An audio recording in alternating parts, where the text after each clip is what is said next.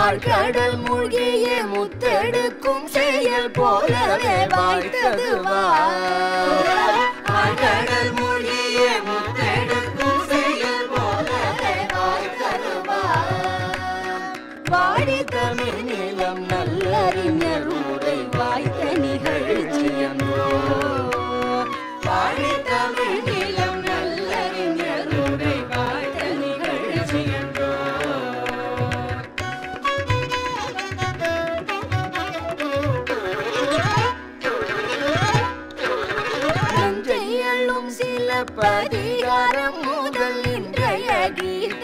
हरी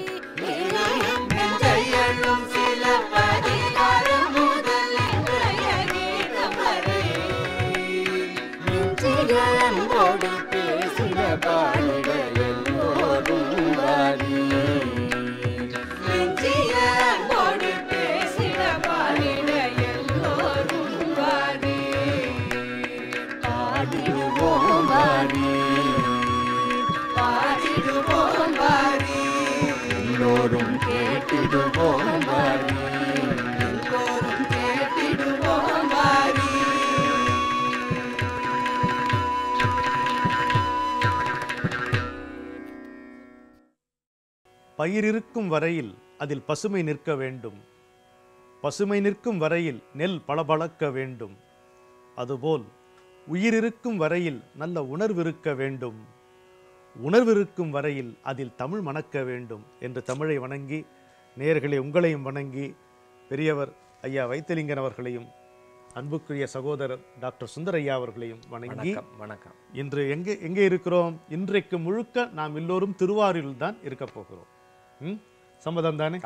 உங்களுக்கும் சம்மதம் தானே? திருவாரூரில் இருக்க போகிறோம். என்ன அழகான பாட்டு. காண்டலே கருத்தாய் நினைந்திருந்தேன். உன்னை பார்க்கணும் எப்படியாவது உன்னை பார்க்கணும். அதான் என்னுடைய கருத்து. காண்டலே கருத்தாய் நினைந்திருந்தேன். அவன் என்ன பண்ணான்? மனம் புகுந்தாய். என்றார். காண்டலே கருத்தாய் நினைந்திருந்தேன். மனம் புகுந்தாய். கடலடி பூண்டு கொண்டு ஒழிந்தேன். புறம் போயினால் அறையோ? ஈண்டு மாடங்கள் நீண்ட மாளிகை மேல் எழு கொடி வான் நிலம் மதி தீண்டி வந்து உலவும் திருவாரூர் அம்மானே. என்று அழகான ஒரு பாடல். தெரியும்? நீங்க ஆவலா இருக்கீங்க அழகான பொருளை எங்களுக்கு சொல்வதற்காக. திருவாரூர். சோழ மன்னர்களுடைய பழைய தலைநகரம். இன்னும் சொல்ல போனால் ஆதி தலைநகரம். இந்த ஆரூர்னாலே சோழர்களுடைய அடையாள மரமாகிய பூவாகிய ஆத்திப்பூ. ஆத்தி ஆத்தி மரத்துக்கு ஆறுன்னு பேர். ஆத்தி சூடி. ஆத்தி சூடி. கொன்றை அணிந்து மோனத்திருக்க முழுவன் மேனியான். ஆத்தி மரம்தான் சோழர்களுக்கு முக்கியமான மரம். ராயல் ட்ரீ அதுதான் அது இருந்து ஆரூர் பேர் வந்ததா? அதுலேருந்து ஆரூர். அதனால முதல் தலைநகரம் அதுவாகத்தான் இருந்தது என்று சமய இலக்கியங்கள்ல நான் பார்க்கிறோமே குறி ஒழிய சங்க இலக்கியத்தில் அந்த குறிப்பை காணும். சரி. தெரியல. ஆனால் சமய இலக்கியங்கள் எல்லாம் வற்புறுத்துகின்றன. சோழர்களுடைய ஐந்து தல தலைநகரிகளிலே ரொம்ப பழசு. அதனால திருவாரூர் வந்து சோழ மன்னர்களுக்கு ரொம்ப ரொம்ப ரொம்ப முக்கியமாக இருந்திருக்கிறது குறிப்பாக இடைக்கால சோழர்களுக்கு. ராஜராஜ சோழன் முதன் முதல்ல திருவாரூரில் தான் வந்து நம்முடைய தேவாரத்திற்கு உரிய அந்த கண்டுபிடிப்பதற்கு அங்கே தான் அவனுக்கு உணர்வு வந்தது. அங்கே யாரோ பாண்டாங்க அதை கேட்டுவிட்டு எங்கே இருக்குது முழுக்க? அப்படின்னு கேட்டான். இல்லை அங்கங்கே பாடிக்கொண்டிருக்கிறோம் எங்களுக்கு தெரியாது அப்படின்னு. எல்லாத்தையும் திரட்டணும் அப்படிங்கிற ஆர்வம் அவனுக்கு வந்தது. ஆக எடுத்து கொடுத்தது ஆரூர் தான். ஆரூர் வந்து இன்னைக்கு பூரா பேசிக் கொண்டிருக்கலாம் அவ்வளவு மகத்துவம் உடைய ஒரு பெரிய ஊர். அந்த ஊரை பார்க்கணும்னு அவர் நினைச்சதுல தப்பு இல்லையே. ம் ஆமா. காட்டாலே கருத்தாய் நினைந்திருந்தேன். அட போடா பித்துக்குள்ளே ஆரூரில் மட்டும்தானே இருக்கேன். ஏற்கனவே மனசுலயே இருக்கேனே. புகுந்தாய். உள்ளேயே இருக்கேனே. என் மனம் உள்ளே புகுந்திருந்தாய். இதை பின்னால் அப்பர் சுவாமிகள் சொல்றார் ஒரு ஒரு இடத்துல. வெள்ள நீர் சடையினார் தாம் எனவுவார் போல வந்து என் உள்ளமே புகுந்திருந்தார் என் உள்ளே தான் இருக்கான் உறங்கிட்டு இருந்தானா. புறங்கள் நோக்கி கள்ளவோ வந்தீர்னு கேட்டேன். இது கூட இன்னொன்று கூட வருது ஐயா. நுண்- நுனையே நினைந்திருந்தேன். வந்தாய் போய் அறியாய். மனமே புகுந்து நின்ற சிந்தாய்கிறார் ஆமாம் மனம்தான் உள்ளே புகுந்துருந்தான் இது தெரியல. எப்போ அதை உணர்கிறோமோ அப்போ தான் திருக்காட்சி கிடைத்து விட்டதுன்னு அர்த்தம். அதை திருவாரூரில் பார்த்தேன்னு சொன்னால் திருவாரூர் மட்டும் இல்லை உலகத்தில் எத்தனை சிவாலயம் இருக்கோ அத்தனையிலையும் நாம் போய் பார்க்கலாம்னு அர்த்தம் அதுக்கு. குறிப்பாக திருவாரூர்னு அர்த்தம் இல்லை அதுக்கு. திருவாரூர் அம்மான் உலகம் பூரா இருக்கான் அவரவர்கள் உள்ளத்திலும் இருக்கிறான் அருமை அந்த உள்ளத்தில் இருப்பதை கண்டுகொள்ள வேண்டும். அவன் இருக்காங்கிறது தெரியணும். அதனால தான் உள்ள அவன் ஏற்கனவே உள்ள திருட்டு போய் உள்ளே போய் உட்கார்ந்து வந்திருக்கான். தெரியல. முழிச்சுக்கிட்டவன் ஏய் திருடவா வந்தேன்னு கண்டான். எட போட திருட வந்தவன் தீவிட்டி பிடிச்சிட்டா வருவான். தலையில பிறை அணிந்திருக்கிறானே. கையில தழல் ஏந்தி. விலங்குளம் பிறையினாரே. அப்படி ரொம்ப அழகா பாடியிருக்காரு. அருமையான அதுதான். இது மாயா மௌளவ காலை. கவுளை மாயா மௌளவ மாளவ மாயாமாளவ கவுள மாயா மாளவ கவுளை இப்ப வழங்குகிறது. இதை நம்ம வந்து ஸ்ரீகாமரம்னு சொல்றோம். ஸ்ரீகாமரம். ஸ்ரீ காமரம் இன்னொரு முறை இந்த ராகத்தினுடைய பெயர் சொல்லுங்க. இதுல குழப்பம் மாயாமாளவ கவுளை ஆ சரி. இந்த மா மாளவ கவுளை. இந்த மாயான்னு சேர்த்தது அந்த எழுபத்தி ரெண்டு மேலகர்த்தா ஸ்கீம்ல கொண்டு வரதுக்கு அந்த கட்டப்பயாதி ஸ்கீம்ல கொண்டு வந்ததுக்கு பதினஞ்சாவது இடத்தை அது ஆக்குப்பை பண்ணிட்டு இருக்கு மாயாமாள கவுளை சாதாரணமா ஒரு குழந்தை பாட்டு அபியாச கானம். முதல்ல இந்த சரளி வரிசை ஜண்ட வரிசையெல்லாம் கத்துக்கும் போது வாத்தியார் அதான் சொல்லி கொடுப்பார். சரி சரி சரி கம சரி கம பத நிச சனி சனி சனி தப சனி தப மகரி ச இந்த மாதிரி? அதே மாதிரி ஜண்ட வரிசை. ச சரி ச சரி சரி ச சரி ரி க க ம ம ரி ரி க ரி ரி க ரி க. இந்த மாதிரி. இல்லாட்டா அலங்காரங்கள். அக்கா தங்க எல்லாம் சரி க ம க ரி சரி க ரி சரி க ம ரி க ம ப ம க ரி க ம க ரி க ம ப. இந்த மாதிரி இது அகார சாதங்கள்லாம் பண்ணுவோம். ஆரம்ப பாடங்களில் இந்த ராகம் ரொம்ப முக்கியத்துவமான ஒரு ராகம். மாயாதீத ஸ்வரூபிணி நனு ப்ரோவே மகாத்ரிபுர சுந்தரி சங்கரி மாயாதீத ஸ்வரூபிணி அல்லது துளசீதள மூல ஜே சந்தோஷமுக பூஜிந்து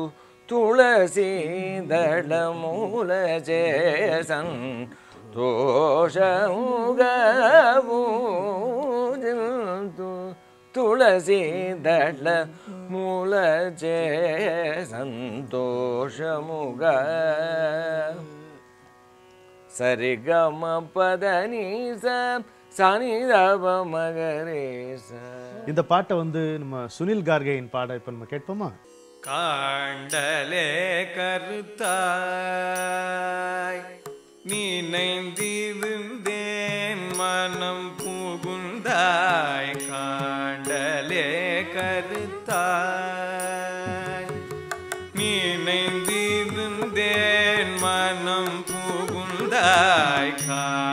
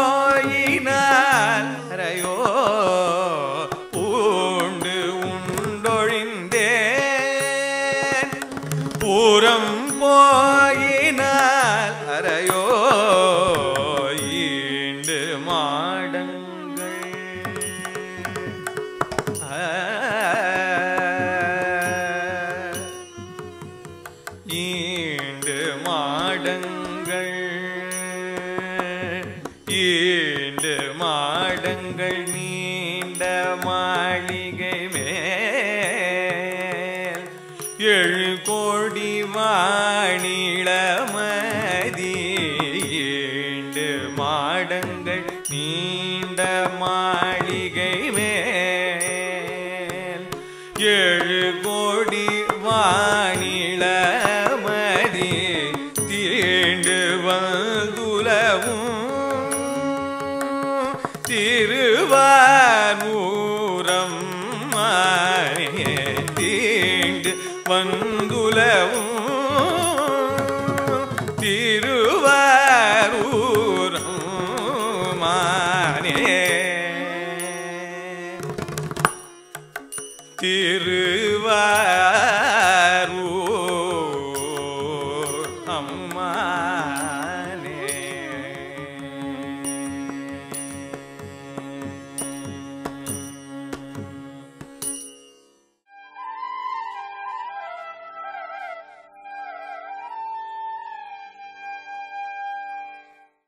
அப்பர் சுவாமிகள் நிறைய இந்த மாதிரி பாட்டு பாடியிருக்கார். ஆனால் குறிப்பாக ஏதாவது ஒரு வகை சிலது வந்து திருத்தாண்டகம் சொல்கிறீங்க திருவுருத்தம்னு சொல்கிறீங்க ஆமாம் அவர் பாடினதில் பதிகமாக பாடியது சில ப பதிகங்கள். திருக்குறுந்தொகைன்னு நூறு பதிகம் பாடியிருக்கிறாரு ஒரே யாப்பு. ஒரே மீட்டர். அது முதல்ல நம்ம பார்த்தோம். திருத்தாண்டகம்னு ஒரு நூறு பாடியிருக்கார். அதுவும் ஒரே யாப்பு. இந்த ரெண்டும் இவரை தவிர மற்றவர்கள் பாடல. ஓ.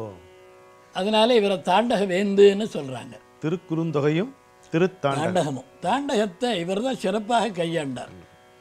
அதனால் இவர் போல தாண்டகம் பாடணும்னு தான் திருமங்கையாழ்வார் தான் பாடி அதுக்கு திரு நெடுந்தாண்டகம்னு பேர் வச்சார். ஓஹோ சரி சரி. திரு குறுந்தொகையெல்லாம் யாரும் முயற்சி பண்ணவே இல்லை. அது ஒரு வகையான ரொம்ப அழகான மீட்டர். அதை அழகாக கையாண்டிருக்கார் அவர். அப்புறம் திருவிருத்தம்னு ஒன்று அந்த திருவிருத்தம் என்னன்னு கேட்டால் தாள அமைப்புகள் அதுக்குள்ளே வராமல் நம்ம உணர்ச்சிகளை எல்லாம் கொட்டி விரித்து பாடுவது. அது ஆக்சுவலாக விருத்தம்னு சொல்லாமல் விரித்தம்னு சொல்லலாம். சரி. உண்மையாக அதுக்கு யாப்பு வகையினாலே பேர் சொல்ற பொழுது கட்டளை கலித்துறைன்னு சொல்லுவோம். அது என்ன அமைப்புன்னு கேட்டால் இப்போ நமக்கெல்லாம் அதிகமாக தெரிந்த அபிராமி அந்தாதி இந்த மாதிரி. வடிவுடை மாணிக்க மாலை இப்படி எல்லாம் பார்க்கிற பொழுது அது ஒரு வகையான நாலு அடி கொண்ட பாட்டுகள். அஞ்சஞ்சு சீரா வரும். நேர் பதினாறே நேர். பதினாறு. நிறை பதினேழுங்கிற எழுத்துக்களுக்குள்ள அகப்படும். அதனால அதுக்கு கட்டளை பாவகை கட்டளை கலித்துறை அப்படின்னு சொல்லுவோம்.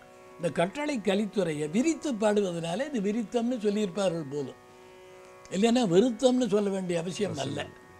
ஆக திருவிருத்தம் திரு குறுந்தகை திரு தாண்டகம் திரு பதிகங்கள்னு நாலு வகையாக பாடியிருக்கிறார் அப்பர் பெருமான். ஆஹா. ஞானசம்பந்த சுவாமிகள்? அவர் புதிது புதிதாக பல வகைகளை உருவாக்கி இருக்கிறார் இவங்களெல்லாம் கையாளாமல் தான் மட்டும் கையாண்டு தமிழ் உலகத்தவர்களுக்கு கொடுத்திருக்கிறார். அவரை பார்த்து வடமொழி முதலானவற்றிலே பாடியிருக்கிறார்கள் மற்றவர்கள். அதனால அதை மூல இலக்கியம் என்று செக்கிழார் பெருமான் சொல்லுவார். அதை அவர் பாடியதை வைத்துக்கொண்டு தான் சுப்பிரபாதம் பாடுகிறமே லீலா திலகம். இந்த லீலா திலக யாப்பு. சம்ஸ்கிருதத்தில் அதுக்கு பேர் லீலா திலக யாப்பு. அது ஞானசம்பந்தர் தான் முதன் முதல்ல வழிகாட்டியது. அதற்கப்புறம் பல வகையான பாட்டுகள். நீங்க அருணகிரிக்கே சந்தத்துக்கு வழிகாட்டின்னு சொன்னீங்க. சந்தத்துக்கு வழிகாட்டினது அப்புறம். இவர் பாடின இன்னொரு சில பாடல்கள் நீங்கள் கா இதுக்கு முன்னால இந்த ஆங்கில நோட்டுகள்லாம் பாடுறோம் பாருங்க. அந்த மாதிரி அமைப்பை கொடுத்துருக்கிறார். அப்போ இங்கிலீஷ் நோட்டு கிடையாது. இங்கிலீஷ் நோட்டுன்னு கிடையாது. விடலாலவாகிலாய் விழுமியோர்கள் தங்கடன் பாலா பாடலால ஆலவாய் பரவன் என்ற பண்பனே அப்படின்னு வரதெல்லாம் நீங்கள் அருமையாக இங்கிலீஷ் நோட்டில் பாடலாம். ஓஹோ அப்படியே வரும். துன்று கொன்றை செஞ்சடையதே தூய கண்டன் செஞ்சடையதே. ஓ. அப்படின்னு மெட்டில் வரும். அது மட்டுமல்ல அது யமகம்னு பேர். யம திரு யமகம். அதுக்கப்புறம் கோமூத்திரி சுழிக்குளம் படி பரிபாடல் வகையில் வந்த எழுகொற்றிருக்கை எப்படின்னா ஒன்று ஒன்று ரெண்டு ஒன்று ரெண்டு மூணு ஒன்று ரெண்டு மூணு நாலு ஒன்று ரெண்டு மூணு நாலு அஞ்சு அஞ்சுலேருந்து திரும்பி அஞ்சு மூ அஞ்சு நாலு மூணு ரெண்டு ஒன்று அப்புறம் நாலு மூணு ரெண்டு ஒன்று இப்படி எண்ணிக்கையை வைத்தே பாட்டு. இந்த கோபுச்ச யத்தி கோபுச்ச எத்தி. அல்ல. ஆ. எத்திக்கு அதுக்கு சம்பந்தம் இல்லை. இப்படி அமைவது. ஒரு ரூபாயினை மனாங்காரத்து இரு ஒன்று ரெண்டுன்னு எண்ணிக்கையை வைத்து பாடுவது. Sir sir. ஓ. இது அப்படியே திருமங்கை ஆழ்வார் பின்னால திருஎழுகொற்றிருக்கை பாடினார். அவரை பார்த்து வண்ணச்சரபம் பாடினார். யாரு? வண்ணச்சரபம் தண்டபாணி சுவாமி மன்னச்சரவம் தண்டபாணி அப்புறம் அவருக்கு பின்னாலே பாம்பன் சுவாமிகள் பாடினார். அதை கொஞ்சம் விரிவாகவும் பாடியிருக்கிறார்கள். அது மாதிரி பல புது யாப்புகளை உருவாக்கினவர் நம்ம ஞானசந்த ஞானசம்பந்த சுவாமி. சக்கர மாற்று மாலை மாற்று. யாமா அம்மா நீ யாமா அம்மா யாழி காமா காணாக்கா காணா காமா காழியா மாமாயா நீ மாமாயா ஒரு பதியம் போல. வண்டை பிச்சுக்கணும். ஆனால் அர்த்தம் இருக்குதுக்கு வந்து என்ன ஒரு வரியை திருப்பி புரட்டி பா போட்டால் அப்படியே மூணாவது வரியாக வரும். ஆங்கிலத்துல பேலண்ட்ரோம் அப்படின்னு சொல்லுவோம் அதை. நம்ம அதை பாட்டாக பாடியிருக்காங்க. பாட்டா பாடி. இதை பின்னாலே நம்ம வேதாந்த தேசிகன் பின்பற்றி இருக்கிறார்.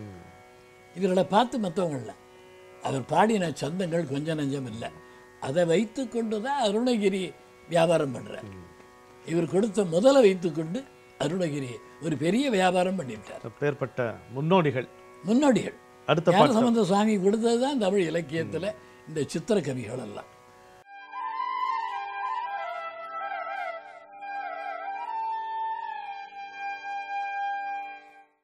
ஒரு முத்து விதானத்தை பார்ப்போமா? முத்து விதானம் பார்ப்போம். இந்த முத்து விதான மணிப்பொற்கவரி முறையாலே பக்தர்களோடு பாவையர் சூழ வலிப்பின்னே வித்தக கோல வெண்டலை மாலை விரதிகள். அத்தன் ஆரூர் ஆதிரை நாளால் அது வண்ணம். ஒரு காட்சி ஒரு வீடியோ காட்சி. சம்பந்த சுவாமியும் அப்பர் சுவாமியும் ஒன்றா உட்கார்ந்துருக்குறாங்க. திருவிழி மெடல அப்படிதான் நினைக்கிறேன் மறந்துட்டேன். அப்பர் சுவாமி அவரிடத்துல விடை பெற்றுக்கொண்டு திருவாரூருக்கு போயிட்டார். அங்கே திருவாதிரை திருநாள் கொண்டாடப்பட்டு வந்தது. ரொம்ப விமரிசையாக நடக்கும். இன்னொன்று நம்ம கவனிக்கணும் திருவாரூர் மாதிரி விடங்க தலங்களில் நடராஜாவை விட விடங்கருக்கு தான் பெருமை அதிகம். விடங்கம் என்றால் ஒரு நாட்டியம். அதை தெரியாதவர்கள் டங்கம்னா உளி விடங்கம் ஒளிப்படாத திருமேனின்னு ஏதோ கதை கட்டி விட்டான். விடங்கம்னாலே நாட்டியம். அதனால ஏழு இடங்கள்ல ஏழு வகை நாட்டியம் ஆடி இருக்கிறான் பரமேஸ்வரன். வீதி விடங்கன் வீதி அது அந்த தாண்டவத்துக்கு பேர் வீதி விடங்கன். அதையும் எழுதுறான். அது அது விவரம் புரியாமல் மறுபடியும் டங்கம் ஒளிபடாத திருமேனின்னு எழுதி வச்சிருக்கிறேன். அப்படியெல்லாம் கிடையாது. அந்த திருவாரூரில் மிகச் சிறப்பாக தாண்டவம் நடந்த இடம். அதனால அன்றைக்கி சிறப்பாக இருக்கும் போயிருக்கிறார். போயிட்டு திரும்பி வந்தார் திரும்ப. சமத சுவாமியை பார்க்குறார். திருவாரூர் பணிகளே எப்படி இருந்தது? ஆ அதை நான் எப்படி சொல்வேன்? அப்படின்னு பத்து பாட்டில் விவரிக்கிறார். முத்து விதான மணி பொற்கவரி. முத்து விதானம் சுவாமி முத்து விதானத்தில் வர்றார். கவரிகள் பொற்கவரிகள் அசைகின்றன பக்தர்களோடு அந்த கவரி எதுக்குன்னு யாருக்காவது தெரியுமாங்கிறது எனக்கு தெரியல. சொல்லுங்க. ஒண்ணும் இல்லை ஈயை விரட்டுறதுக்கு. ஈ கொசுக்களை விரட்டுறதுக்கு தான் இந்த சாமரம். கொசு அதுல சிக்கிக்கிட்டா வெளியே போக வெளியில முடியாது. போகாது. அதனால அது கிட்டே வராது. அதுதான் உண்மையில. அதனால பழைய பேர் அதுக்கு ஈச்சோப்பின்னு பேர். ஈ விரட்டின்னு அர்த்தம். ஓ. இப்போ இந்த பாடல் வந்து ஹரிகாம்போதி ராகத்தை அமைஞ்சிருக்கு. நீங்க கூட விவரமா சொன்னீங்க ஹரிகாம்போதி ராகத்தை பத்தி. இந்த சத்குரு ஓதுவார் பாட ஒரு முறை கேட்டுருவோமா? நிச்சயமா கேட்டுருவோம். முத்து விதானம் மணி பொற்கவரி விதானம் மணி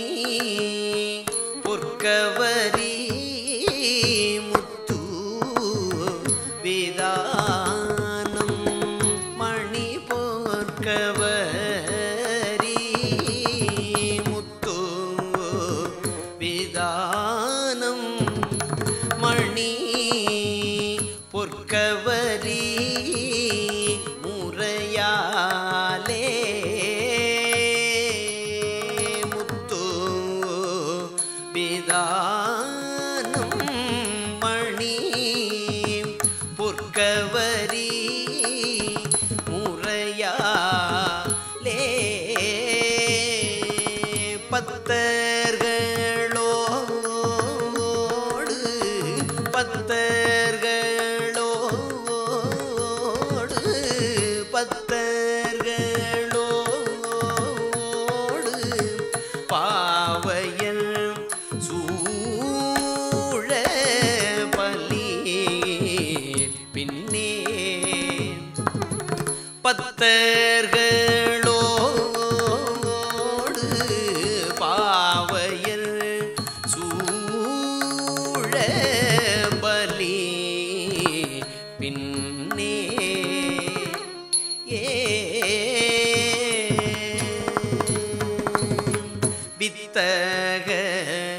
கோல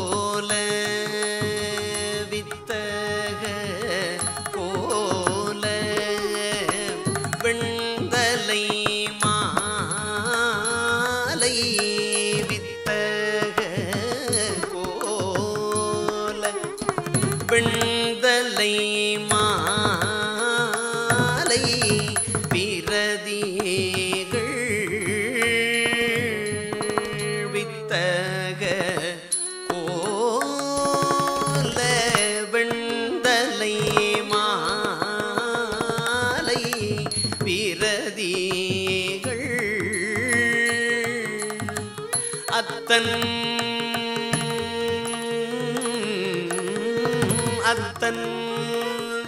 ஆரு அத்தன். ஆரூரத்தன்